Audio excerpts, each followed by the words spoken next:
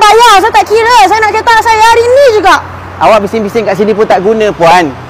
Saya tak kisah, saya nak kereta saya hari ni juga. Bos awak mana bos awak?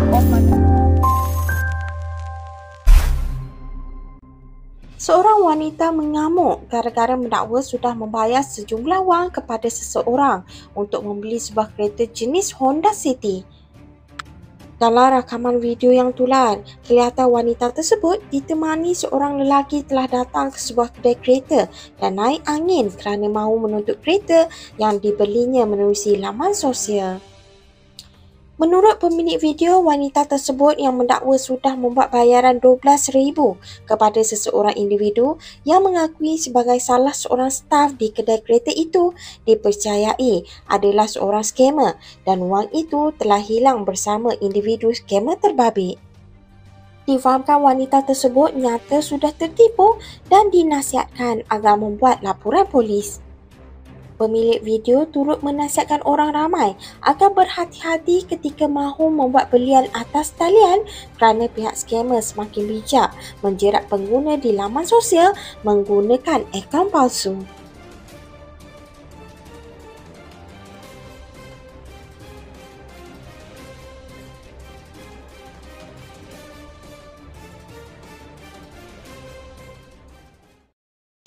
Saya bayar, saya tak kira. Saya nak kereta saya hari ni juga.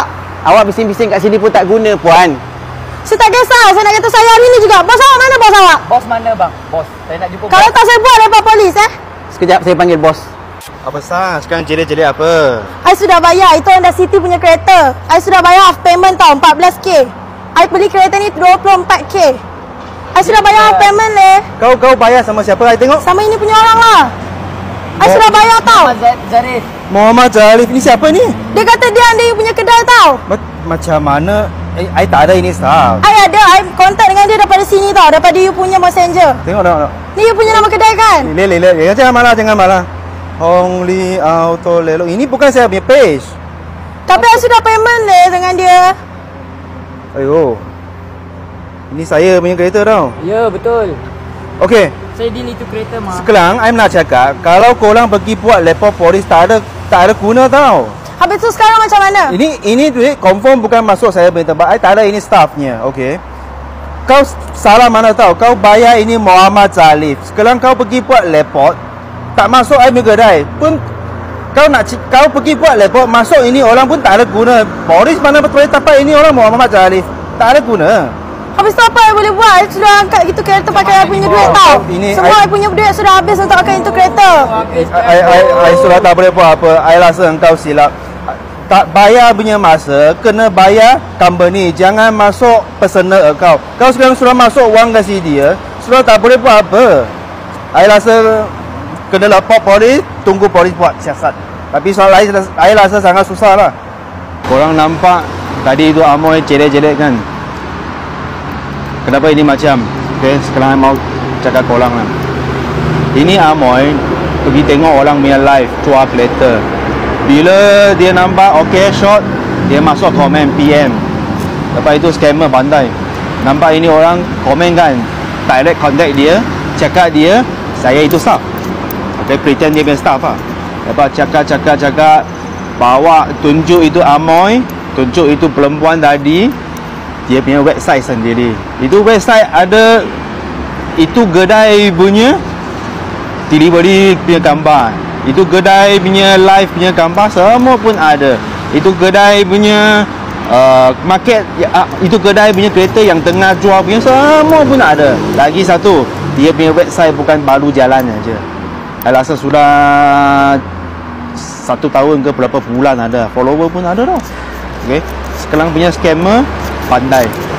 Lepas itu itu tadi itu Amoy deal sampai ke scammer deal deal deal last. Bayar. 12,000 masuk scammer punya account. Masuk mana? Scammer punya personal punya account.